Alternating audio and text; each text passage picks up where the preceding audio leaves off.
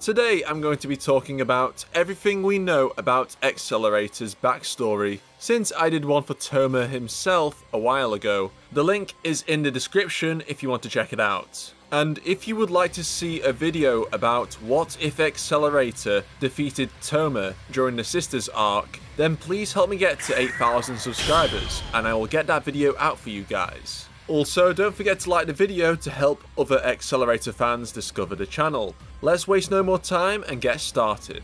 Accelerator's past is shrouded in mystery. Who his parents are, or even where they are, is completely unknown. It's also not clear when Accelerator moved to Academy City, but he was definitely a young child. At this point, Accelerator was not even an Esper yet, so he wasn't known as Accelerator at this point in his life. At one point he had a real ordinary Japanese name. He recalls how many kanji characters were in his name, but in the present, Accelerator cannot remember what his original name was. But how could someone possibly forget something as important as their own name? This was perhaps due to the trauma Accelerator suffered as a child and the new identity he undertook as the new number one Esper, which destroyed the childlike innocence within him. Accelerator, like other children in Academy City, started the Power Curriculum program in order to turn him into an Esper and develop psychic abilities. It was soon apparent to the scientists that Accelerator was no normal Esper, with him possessing level 5 ability and a unique and extremely rare Esper ability known as Vector Control. It is also likely around this time that Accelerator's skin and hair slowly changed to white as a result of his passive Vector Shield blocking ultraviolet rays from the sun, causing him to develop albino features. His power was actually developed by Kihara Amata himself, a researcher within the infamous Kihara family connected to the dark side of Academy City. Due to the nature of Accelerator's power, he was sent to a facility known as the Special Ability Institute. The name of the institute and details about what occurred there was even sealed in a strict region of the bank, Academy City's comprehensive government database. It was officially a school within Academy City, yet it functioned nothing like one, acting more like a research lab for Espers. The purpose of this facility was the attempted development of dual skill, the possibility of an Esper being able to use two different powers.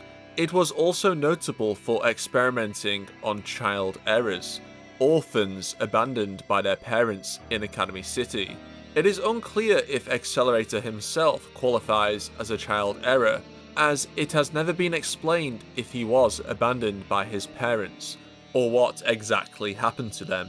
The facility had a dark reputation for treating its subjects like inhuman guinea pigs, and was far more cruel and disturbed than other Esper facilities. That hell was rumoured to have a facility for disposing of corpses on the grounds.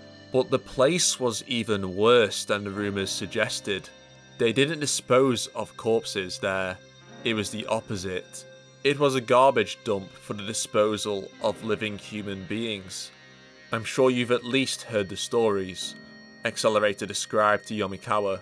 And it was through the failed experiments there which often led to the deaths of the child's subjects that the conclusion was made that dual skill was impossible, although they still continued the experiments despite knowing their efforts were in vain. So that's why they used child errors, as they were more disposable than normal students with families. He left the institute around the age of 9 because the scientists couldn't even handle Accelerator, even at such a young age. Accelerator stated, even that hell found my power to be too much. Even those demons in lab coats were afraid of me. That's just the kind of monster I am. He was moved from facility to facility, including the Imaginary Number Institute, the Wisdom Institute, a Kirigaoka affiliate, etc. never staying at one place for more than two months. Accelerator was undoubtedly psychologically tormented by this, as such horrors were normalised before his eyes. He was no normal child in terms of his Esper power, but also physically and mentally.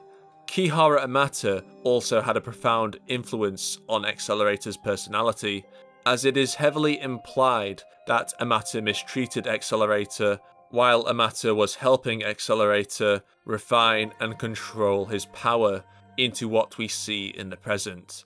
And the time that Accelerator spent with Amata made Accelerator talk and act like him, both being quite unsociable, aggressive, and definitely psychotic.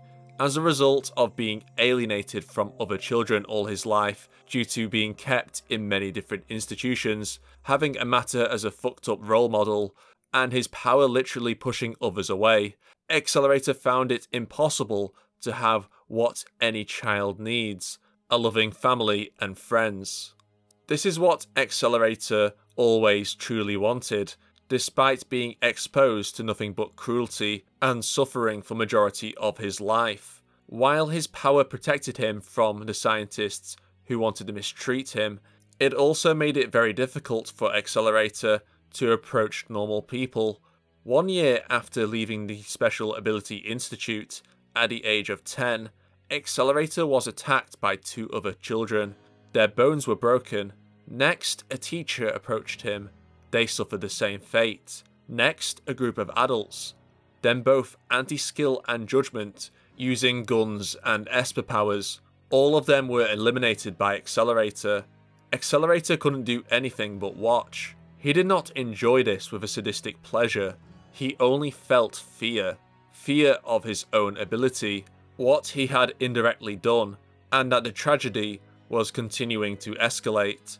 Multiple unmanned attack helicopters and armoured anti-skill reinforcements were deployed against the 10-year-old child.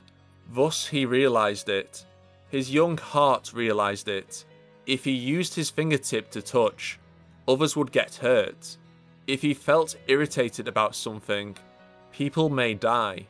That commotion would snowball until he ended up fighting against Academy City, the world, and then everything would be destroyed.